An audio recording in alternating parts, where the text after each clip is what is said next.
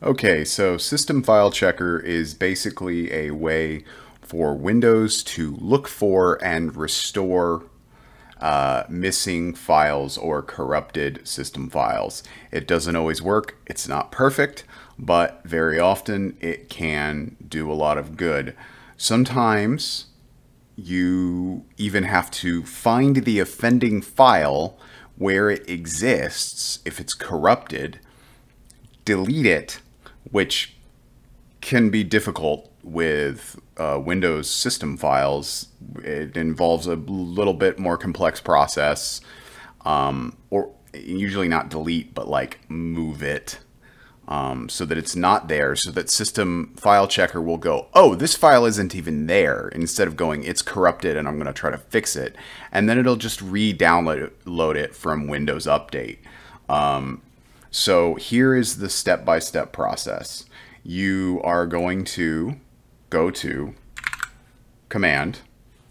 So in the search bar, type command, command prompt, right click on it, click run as administrator you should be an administrator as you're if you're logged in. Um, if it's not an administrator account, you will need to be able to type in the administrator account. Um, if you're already logged in as administrator, it'll just come right up.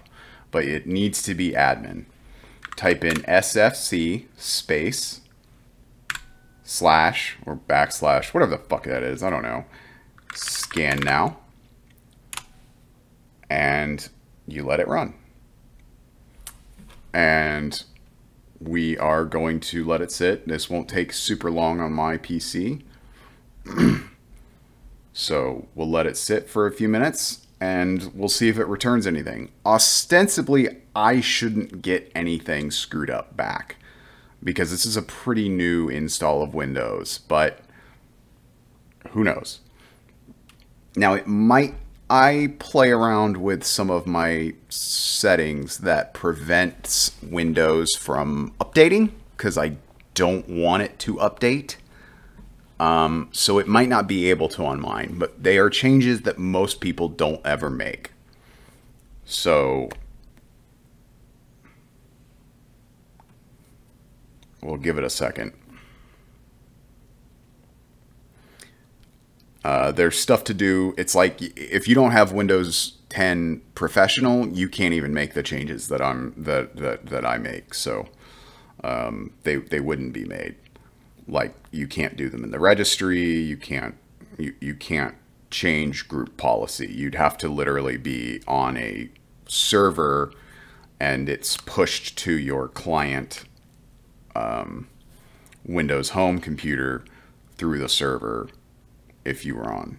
Okay, so found corrupt files, but wasn't able to fix some of them. They're probably files I changed. That's okay. Um, cbs.log, not surprising that the... Um, okay, let's see. Okay, so let's see. Um, we can open that up. Win directory, which is C Windows. Oops. C Windows logs cbs cbs.log. All right, so and there's also there's some other things going on on my PC. Uh, this file itself might be screwed up. So it's not uncommon to see to get this result anyway. But and again, this result for me is because of stuff that I do, but it usually works on less messed up, less mucked with things uh, when installs. So this was what time is it right now? Seven something. So let's come down.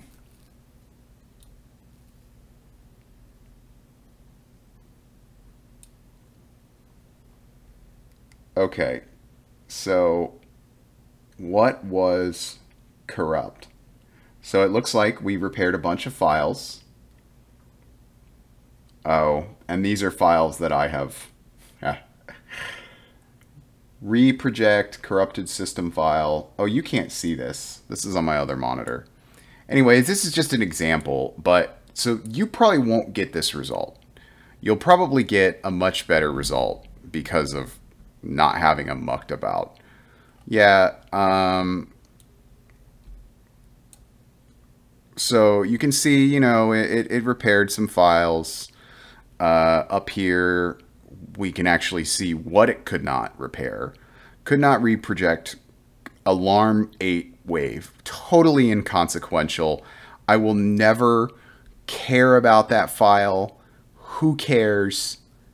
It, probably is detecting that because of my custom shell and custom sound themes and stuff. Like, it's who cares, right? Doesn't remember. Repair member file, alarm 8 wave, uh, do not match, hashes do not match. Wow, big deal, right? But look, we, we repaired Cortana. Ew. So I probably just restored some things that I didn't want to restore. And I will need to go. Oh, okay. So I know what it repaired here. What's happened is I changed the folder locations of all the Microsoft Edge stuff so that nothing I ever did would ever open up Microsoft Edge because it's almost impossible without skills far beyond mine to get rid of my Microsoft Edge. And what I just did was undo about 15 minutes of work. But um, as you can see, should be good. So just follow those instructions and you have a very high chance. Um, if not, then we'll go forward from there.